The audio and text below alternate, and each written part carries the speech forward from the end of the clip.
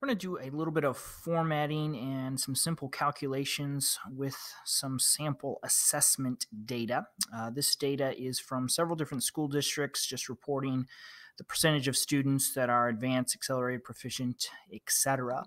I need to, first of all, add a calculation to determine what percentage of students are at uh, proficient and above. So I'm going to insert a new column uh, right here. Just right click, insert one column left.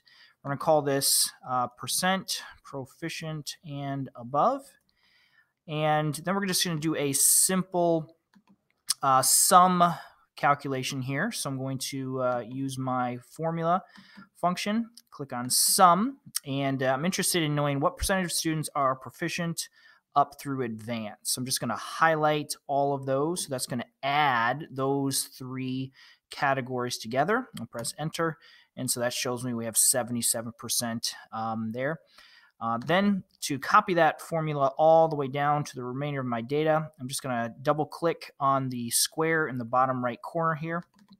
And that'll put that uh, formula all the way down.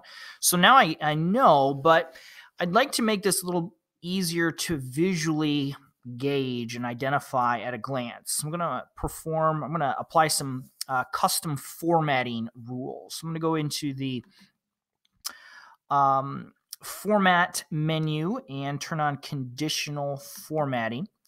And um, this is real simple. So what I'm going to do is I'm going to highlight column E. I'm going to add a new rule. And um, so my rule is uh, I'm going to change this since I'm working with numbers here.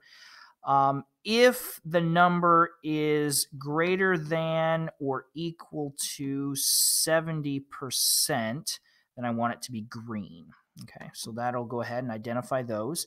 We're going to add another rule that says uh, this time we'll do the number is between um, 40% and 70%. We're going to make it uh, yellow, so that's um, you know, at risk.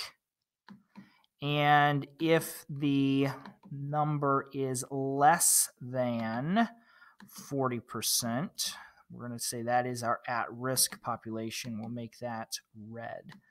And so just by doing that very quickly, I can identify, you know, I've got two schools that are um, have an average that is, um, you know, at risk uh, that I need to, you know, in, insert some interventions there.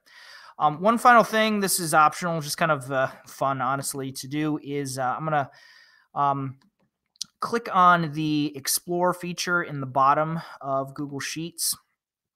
And uh, they have this nice formatting option here that will uh, split my rows into colors, just makes it a little bit easier for me to identify the rows as we go across. So nothing fancy there, um, but uh, it's very helpful that Google does that for me now. I can go in and you know make my favorite color if I wish. Um, that just makes my data a little bit easier to see, a little visually um, appealing uh, as well.